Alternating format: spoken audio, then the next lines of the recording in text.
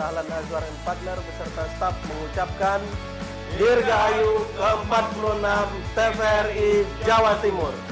Dengan bertambahnya usia TVRI Jawa Timur tidak sekedar menyaksikan tontonan, tapi juga dapat memberikan tuntunan kepada masyarakat. serta memberikan informasi yang aktual baik ekonomi, politik budaya, hukum, dan pendidikan bagi masyarakat.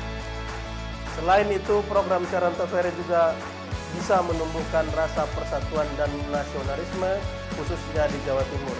Sekali lagi kami mengucapkan Dirgahayu ke-46 TVRI Jawa Timur.